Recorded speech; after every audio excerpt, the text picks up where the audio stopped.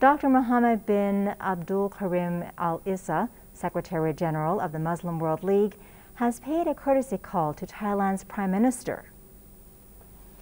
Prime Minister General Prayut Chan-o-cha welcomed the League delegation, after which the two sides discussed relations between the League and Thailand, the kingdom's efforts to support the Middle Path Islamic approach, and harmonious interactions between different religions.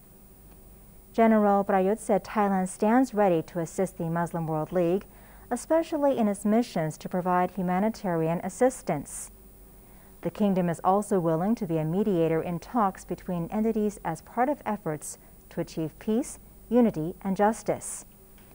The Secretary General, meanwhile, said the League recognized Thailand's multiculturalism and its commitment to resolving conflicts.